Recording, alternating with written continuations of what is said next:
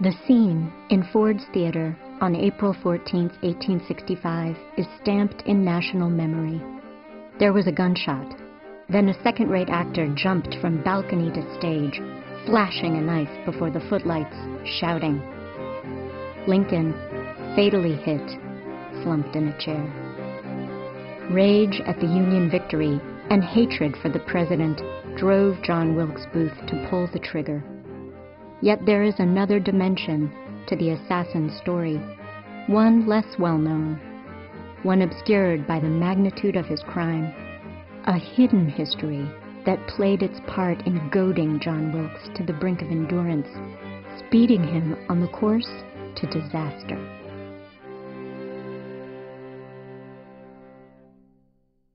Throughout his short life, John had one rival, one competitor. For most of his 26 years, Lincoln's killer lived in the shadow of an older brother, Edwin Booth, a dramatic genius who achieved colossal national celebrity just as the Civil War began. Together, Edwin and John Wilkes Booth enacted one of the strangest stories in American history. Edwin's name is forgotten now, buried by John's infamous deed, but a century ago he was the actor king the biggest, most influential star on the American stage. Edwin won greatness while yet a teenager. American presidents praised and befriended him. He was worshipped by the national press. Far from being a peripheral figure, this older brother dominated John Wilkes's life. Theirs was a bitter rivalry. As Edwin and John came of age, dueling ambition and professional animosity made them adversaries. But when war came, politics tore them apart.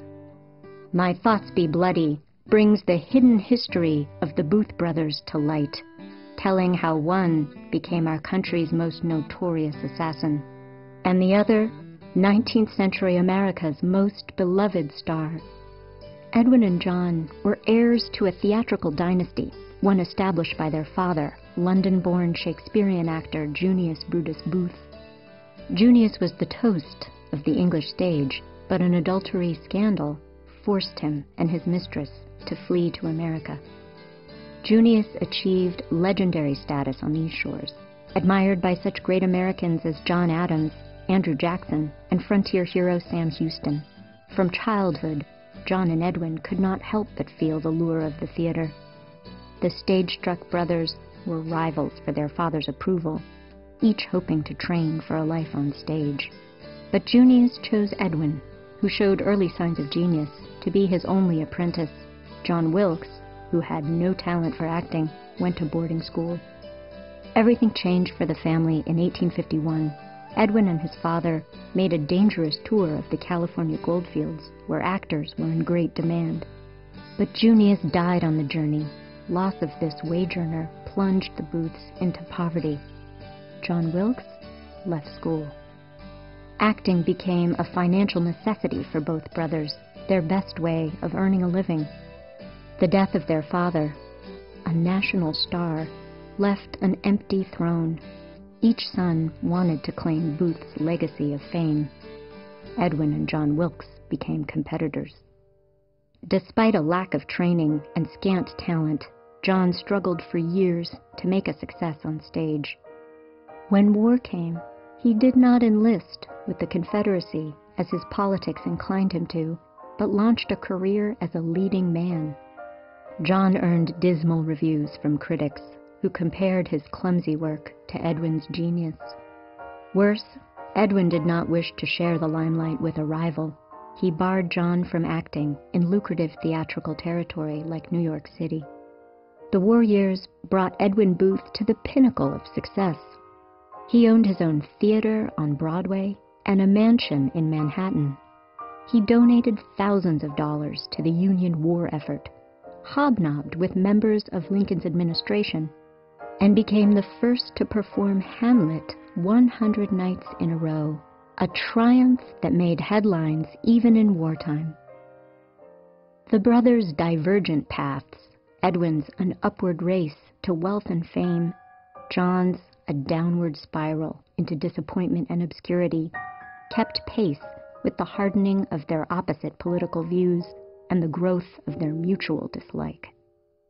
At times, John humiliatingly was forced to ask his older brother for housing and for cash loans to supplement his unsteady income.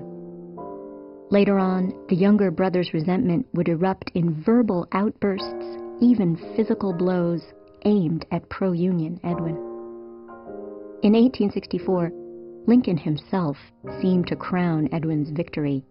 The White House made special arrangements for the older Booth brother to perform Hamlet and other plays during official Washington, D.C. celebrations of the third anniversary of the president's inaugural. That same year, John abandoned the stage. First to drill for oil in Pennsylvania, hoping to strike it rich, but ultimately to join the Brotherhood of Conspiracy. My Thoughts Be Bloody sets John Wilkes Booth, the actor, squarely in the context of his bitterly divided family. It revives the extraordinary character of Edwin Booth and plants him once more at center stage. This book tells a new story, the tale of two brothers, rival sons of a famous father, who each played their parts in a national tragedy.